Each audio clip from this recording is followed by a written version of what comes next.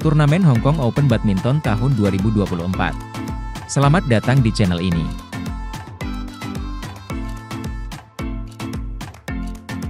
Berikut ini, update badminton, membahas mengenai hasil pertandingan babak final di hari ke-6, Hong Kong Open Badminton 2024, serta poin yang didapat, kemudian hadiah uang yang didapat di turnamen ini. Hong Kong Open tahun 2024, HSBC BWF World Tour Super 500. Sebelum dilanjut, Sobat Sport bisa like dan subscribe channel ini, dan aktifkan tanda loncengnya. Terima kasih. Berikut, hasil pertandingan, babak final di hari ke-6, Hong Kong Open 2024, hari Minggu, tanggal 15 September 2024. Di sektor tunggal putra, Victor Axelsen dari Denmark, peringkat 2 dunia, menang 2 game langsung, 21-19 dan 21-12, atas Lei Lansi dari Cina, peringkat 33 dunia. Berikut, para juara di sektor tunggal putra, serta poin yang didapat, kemudian hadiah uang yang didapat.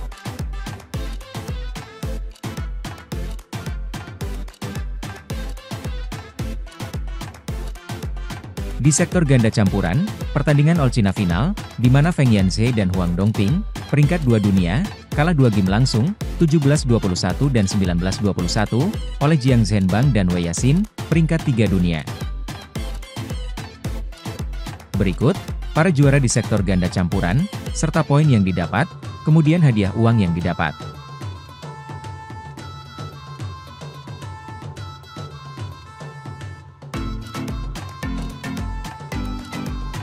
Di sektor tunggal putri, Putri Kusuma Wardani dari Indonesia, peringkat 31 dunia, kalah dua game langsung, 18-21 dan 7-21, oleh Han Yue dari Cina, peringkat 8 dunia.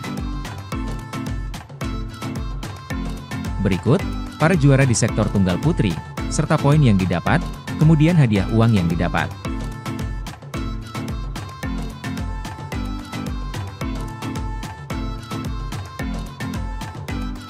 Di sektor ganda putra, Sabar Karyaman Gutama dan Muhammad Reza Pahlevi Isfahani dari Indonesia, peringkat 22 dunia, kalah dua game langsung, 13-21 dan 17-21, oleh Kang Min Hyuk dan Seo Sung Jae dari Korea Selatan, peringkat 4 dunia.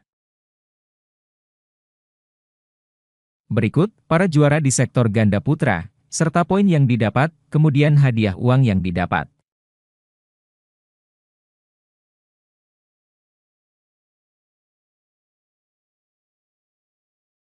Di sektor ganda putri, Liu Shengshu dan Tan Ning dari Cina, peringkat 3 dunia, kalah dua game langsung, 14-21 dan 14-21, oleh Perlitan dan Tinah Muralitaran dari Malaysia, peringkat 8 dunia.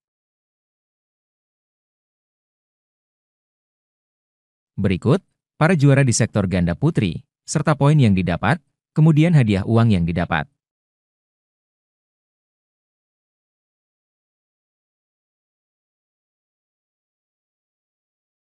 Dengan hasil di hari ini, maka, dua wakil Indonesia menjadi runner-up Hong Kong Open Badminton tahun 2024.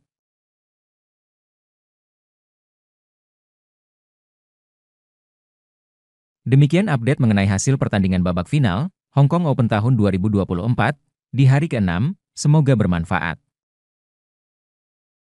Terima kasih telah menonton di channel ini, Assalamualaikum.